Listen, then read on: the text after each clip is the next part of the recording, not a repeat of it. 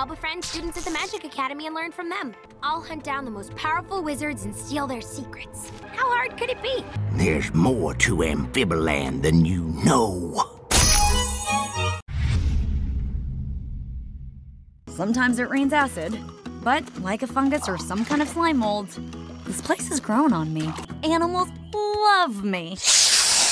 Oh man, he looks upset. Oh, that's why! Think you're ready for the challenge? I think I've got this place pretty figured out.